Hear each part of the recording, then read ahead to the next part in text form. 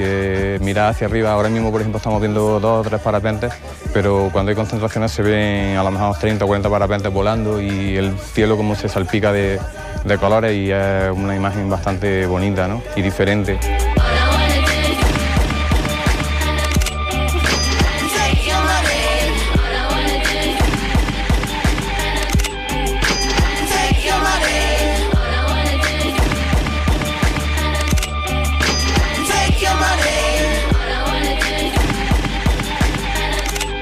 Están entrando ganas de probar. Yo invito a vosotros que lo viváis vosotros mismos y os dais cuenta que lo que estoy diciendo es eso o más.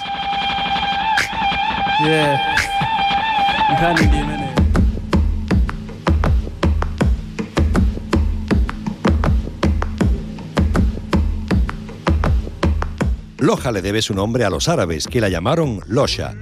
Pero en nuestra siguiente razón vamos a descubrir que no solo heredaron el nombre de este pueblo tan sabio.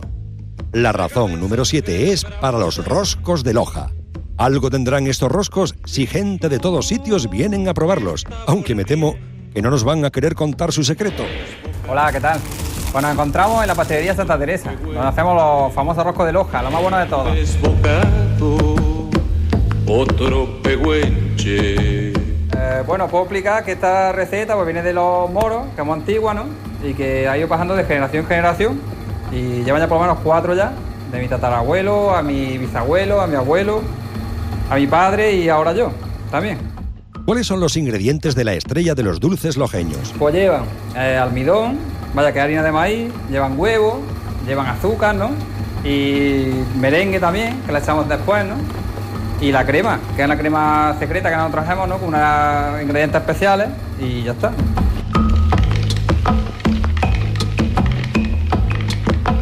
Estos roscos han rebasado fronteras. ¿Hasta dónde han llegado? Uh, a todos lados. A América, Australia, a Alemania, a, a todos sitios, cualquier sitio. Y a la gente le gustan mucho, claro. ¿Y qué dicen ahí cuando los prueban? Uh, bueno, lo dicen en inglés, ¿no? Porque en inglés lo dicen en inglés. Pero que, que está muy bueno. Dicen very good, very good. Se lo en tu desbocado, otro. El rey de los pasteles de aquí de Loja es rojo de Loja, ¿no? Y como tal, tiene que lleva una corona, como el rey que es, ¿no? Y la vamos a hacer pues de merengue, la corona. Cogemos media corona para un lado y media corona para otro. Y aquí tenemos el rosco de Loja con el merengue echado. Río arriba del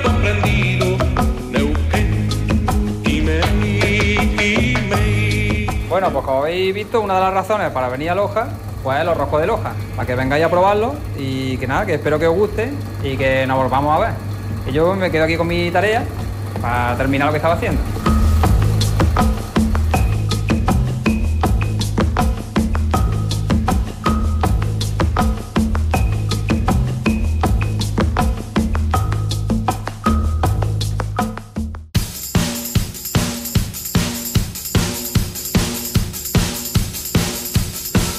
Nuestra siguiente razón bien podría ser la banda sonora de Loja.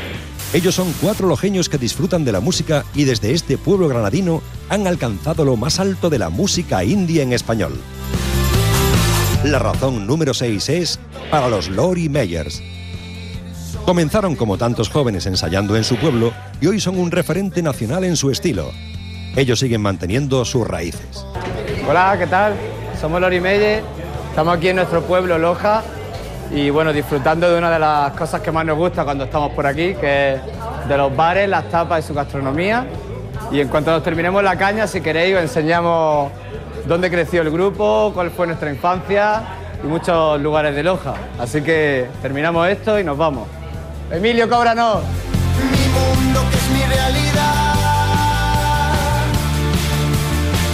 ¿Venís mucho por Loja?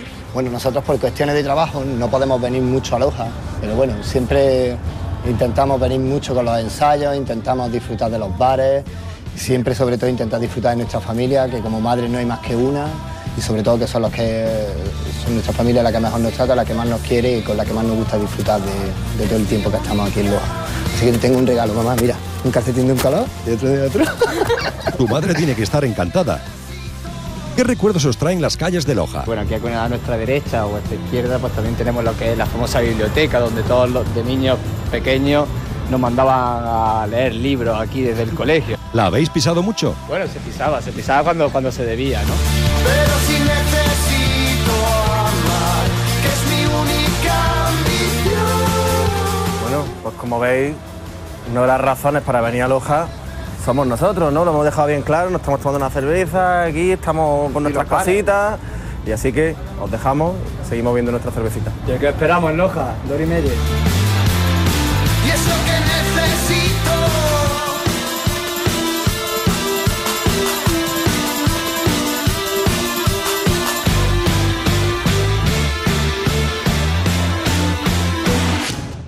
Ya hemos descubierto varias razones para visitar Loja. Un pueblo que es de cine gracias a los hermanos Marx. Donde la trucha es la reina de la cocina. Que se puede contemplar desde lo más alto. La receta de sus roscos es el secreto mejor guardado. Y que tiene su propia banda sonora. Ya sabéis que podéis ayudarnos a hacer el ranking opinando en nuestra web y en las redes sociales. Pero ahora, vamos a por los cinco últimos puestos de nuestra lista.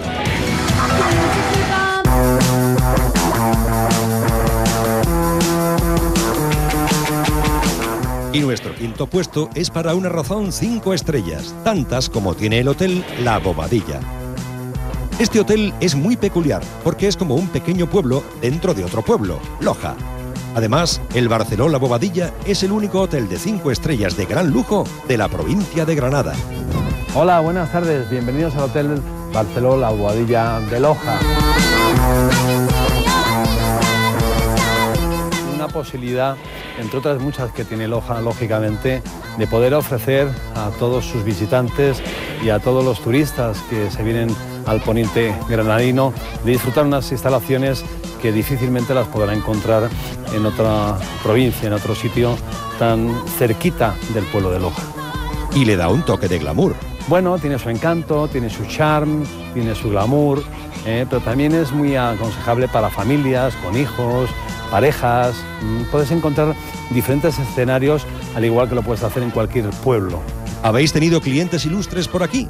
Bueno, personajes célebres que se puedan decir, pues ha estado Tom Cruise, mm, ha estado Richard Gere mm, y bueno, algunos otros que por nuestro eh, código deontológico no podemos decir, lógicamente.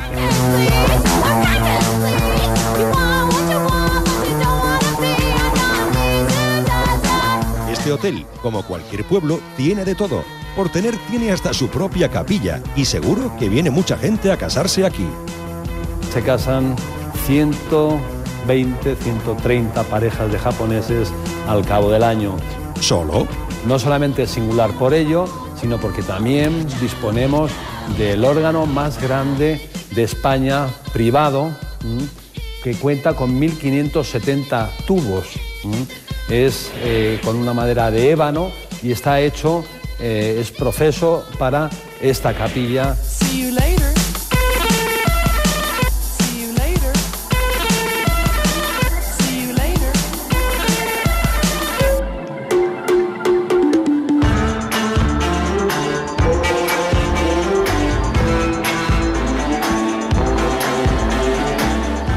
cuarta razón vamos a descubrir que el infierno puede ser un lugar tremendamente bello. ¿Estáis preparados para adentrarnos en los infiernos de Loja? Por este nombre es conocido este impresionante monumento natural de cascadas y saltos de agua junto al curso del río Genil. A pesar de su nombre, es una razón muy refrescante para venir a Loja. Ay, hola, os estaba esperando.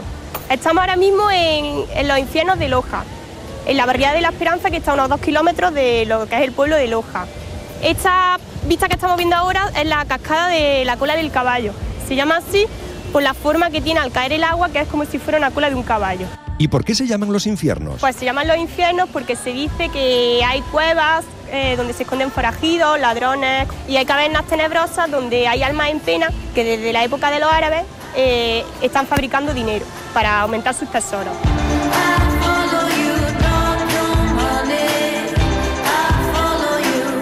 ¿Y habitan por aquí criaturas infernales? En uno de los nacimientos de la sierra, el gallipato, que solamente está aquí en Loja, que es como un- una especie de lagarto pequeñito.